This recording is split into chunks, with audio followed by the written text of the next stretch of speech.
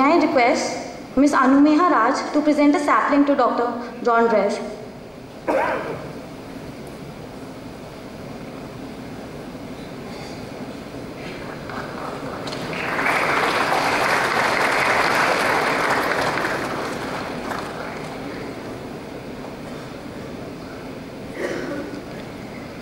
I now call upon Dr. Madhukar Shukla to give the introduction to Father Arrupe Center for Ecology and Sustainability and the oration. Ladies and gentlemen, Dr. Shukla.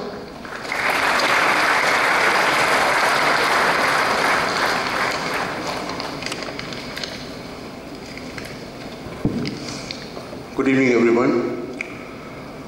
Distinguished Chief Guest and the Speaker for this oration, Dr. Jean Dreze, uh, Director XLRI, Father E. Abraham, SJ, Dean Academics, Professor Ashish Pani, distinguished guests, faculty and staff colleagues, students, and members from the media.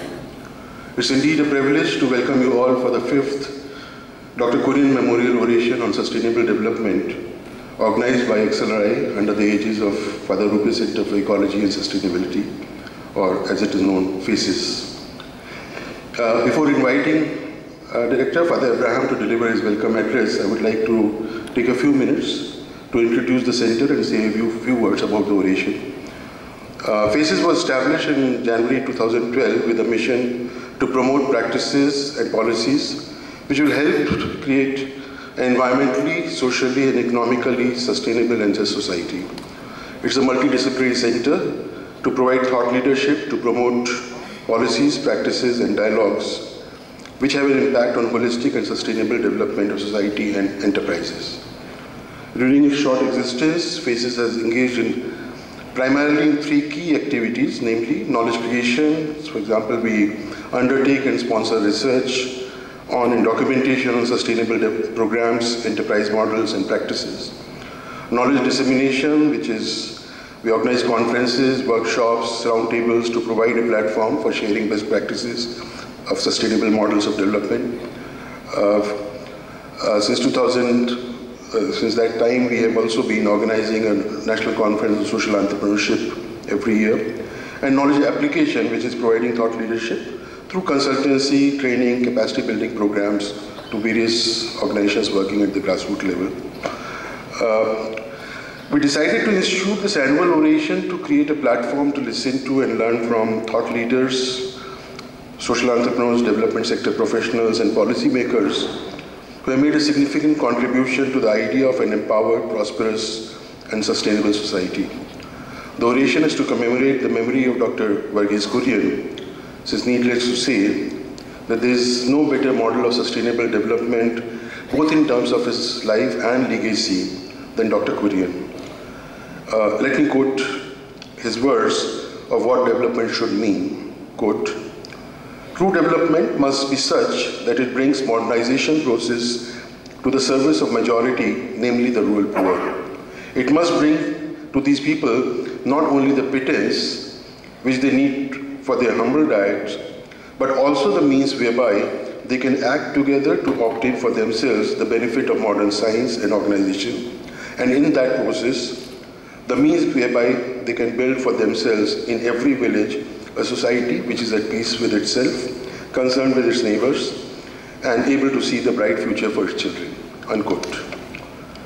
In the past, in this oration to celebrate Dr. Kurien's legacy, we had the privilege of listening to the renowned rural journalist and Magsaysay Award winner, Mr. P. Sainath, the recognized, internationally recognized social entrepreneur and founder of Barefoot College, Mr. Bunker Roy, the founder of SEWA and Padma Bhushan awardee, Mrs. Hila and the founder of chair and chairman of Development Alternative Group, Dr. Ashok Khosla.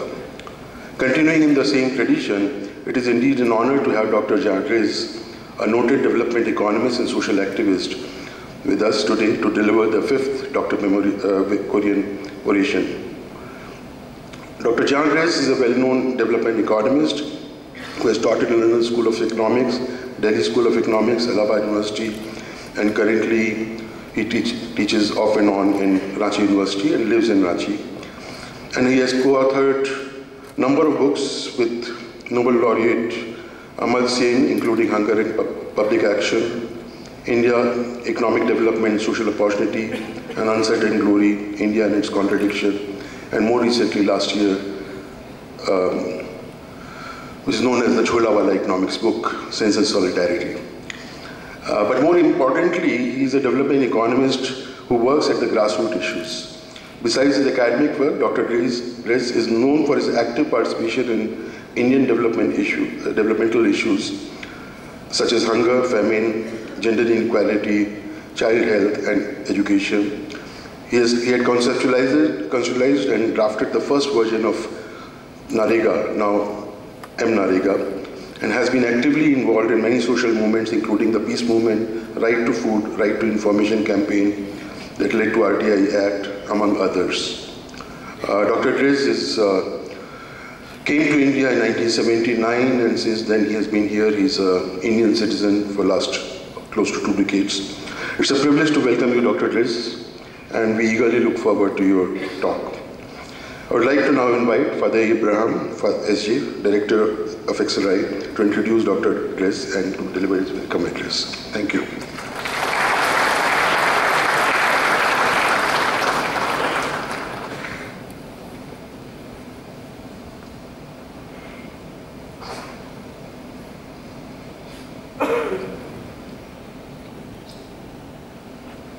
Dr. Jean Dreze, chief guest of this evening function, Dr. Ashish Pani, Dr. Madhukar Shukla, my colleagues, faculty members, senior executives of Tata Steel and various companies in Jamshedpur, faculty staff and students, members of the press and media, ladies and gentlemen.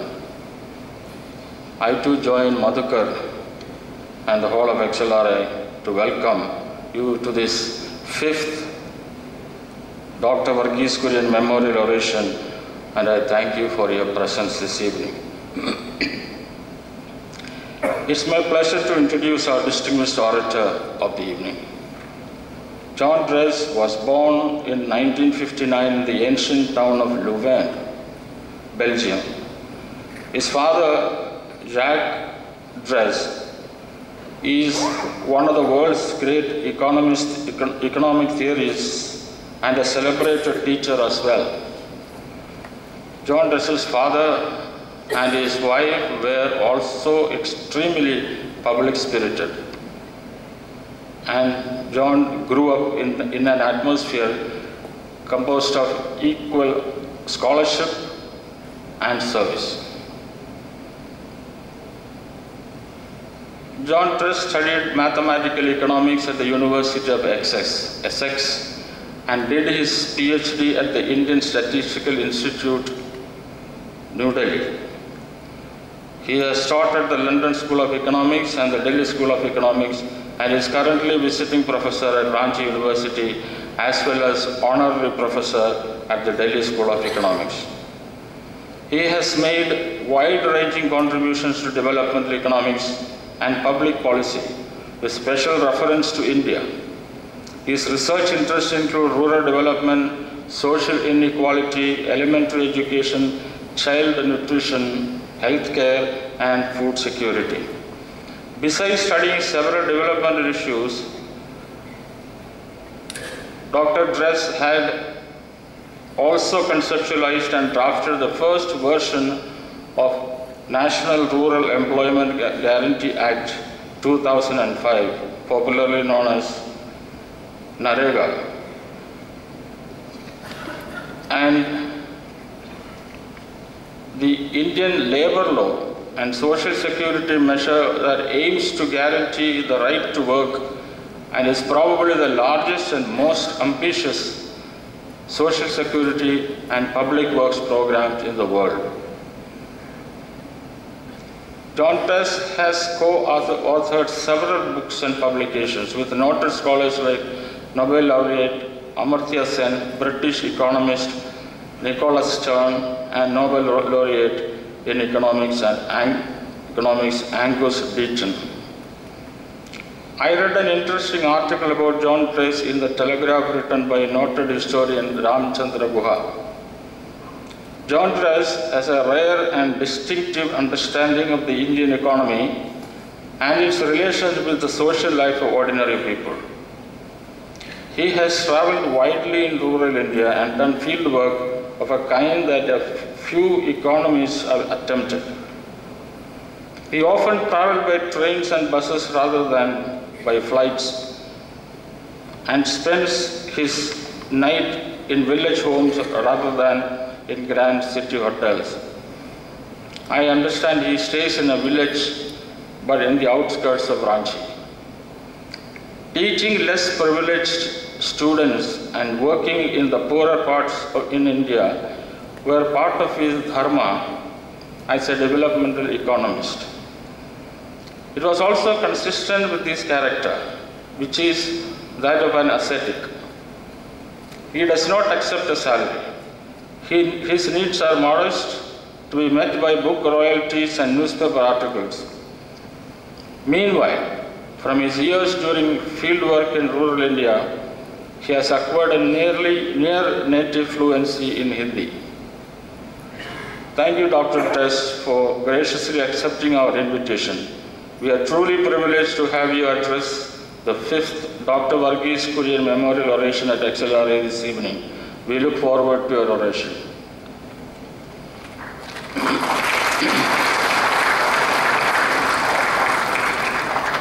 I would like to share with you briefly on Dr. Kurien's legendary career and his extraordinary leadership skills. XLRI's relationship with Dr. Kurien goes back to over 24 years. I personally had an encouraging association with Dr. Kurien and was greatly inspired with his visionary foresight and single-minded determination in executing his vision for the dairy sector and more importantly in helping raise the living standards of millions of rural milk producers across thousands of villages in India. I first met Dr. Kurien here in XLRI when he came to receive the Sir Jahangir Gandhi Medal for Industrial and Social Peace in 1992. He generous, generously helped us financially to build our FDP residence, a generosity XLRI will always remember. I was on the board of governors of IRMA and served there for 14 years. Dr. Kurien, on behalf of NDDB, sponsored multiple batches of NDDB executives for management development program at XLRI. Let me share with you a brief history for the purpose-driven life of Dr. Kurien. Dr. Kurien, best known as the father of white revolution in India, is recognized globally as an extraordinary social entrepreneur who envisaged the billion liter idea or Operation Flood, Operation Flood, the world's biggest agricultural development program. Today, India continues to be the largest producer of milk in the world since 1997 thanks to Operation Flood. Milk production in the country increased to 176 million tons during 2017-18 from 165 million tons during 2016-17.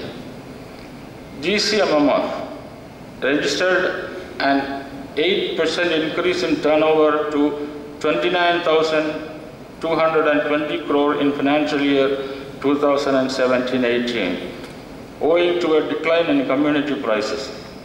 Dairy cooperative Amul is aiming to grow at 20% this financial year to touch a group turnover close to rupees 50,000 crore on the back of growing consumer portfolio and rising demand. Milk production or dairying has become an important secondary source of income to 70 million rural households engaged in agriculture and for 70% of the workforce that comprises are women. Through the spirit of cooperative movement in India has been transformed into a nation which till 1970s was struggling with severe milk scarcity and heavy dependence on import of dairy commodities into the largest milk producing country in the entire world. In the process, we have secured self-sufficiency for India in the dairy sector, propelling our nation towards a position of eminence over the global dairy map. The value of milk produced over 4 lakh crores is more than the total value of paddy and wheat produced in this country, contributing around 6% of the national GDP and 26% to the agricultural GDP. This underlines the importance of dairy sector within the rural economy.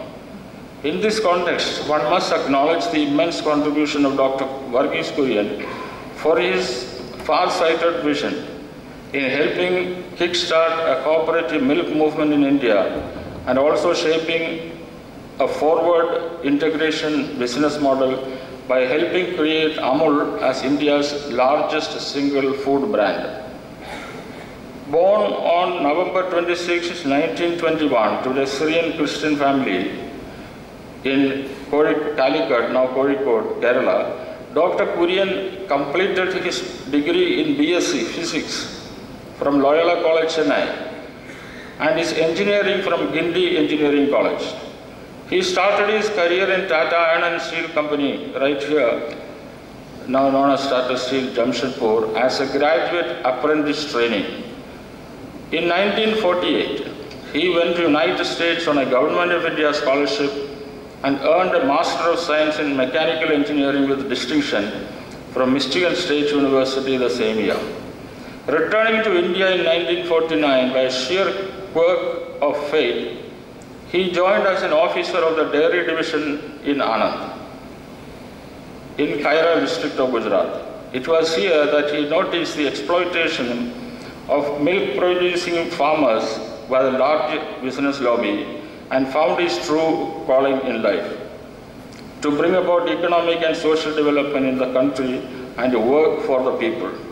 He joined forces with Tribhuvan Das Patel, a man of great integrity and commitment to start the milk cooperative movement in the region, an initiative which over time only became the Gujarat Cooperative Milk Marketing Federation, popularly known as AMUL, and also created a model which got replicated across India and transformed the lives of millions of small producers.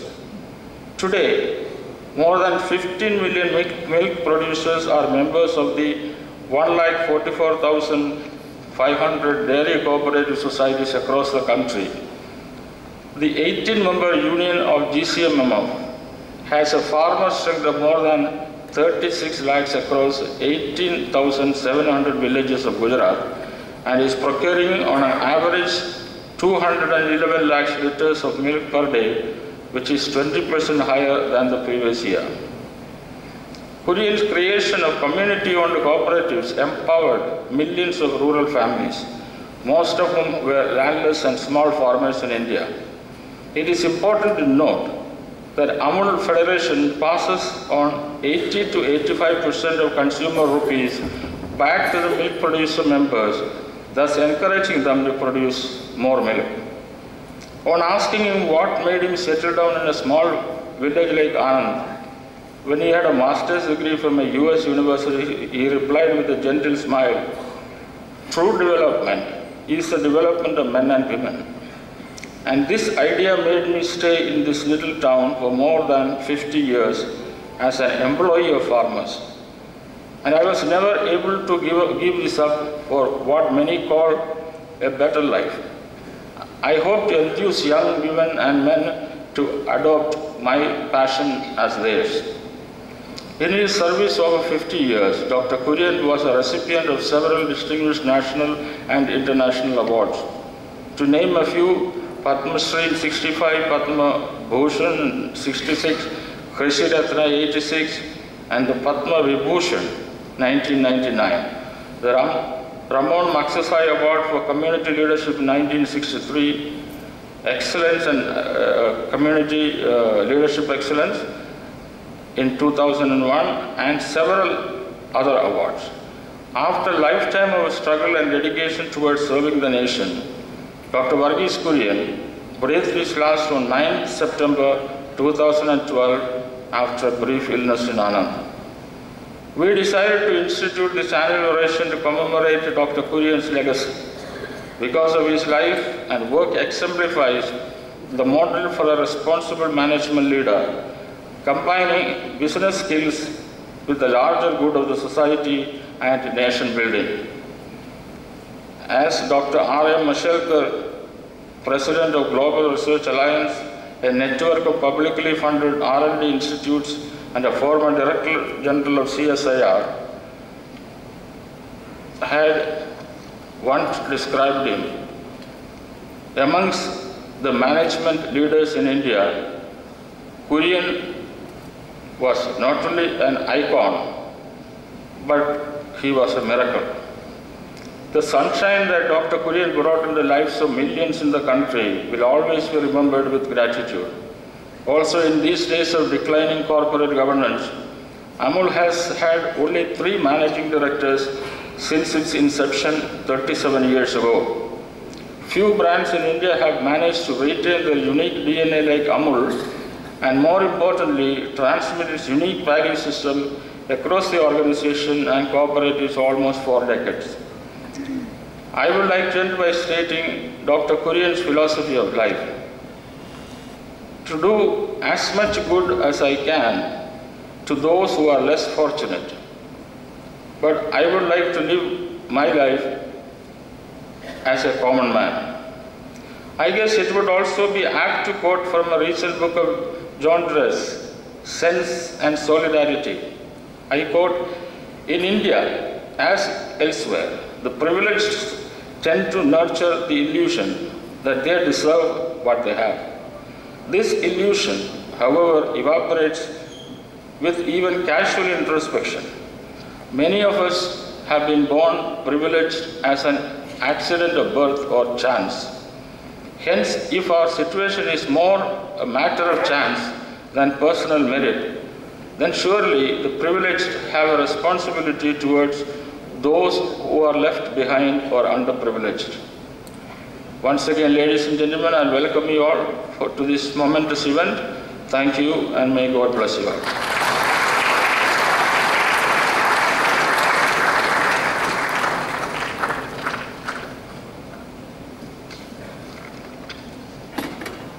Thank you, Father.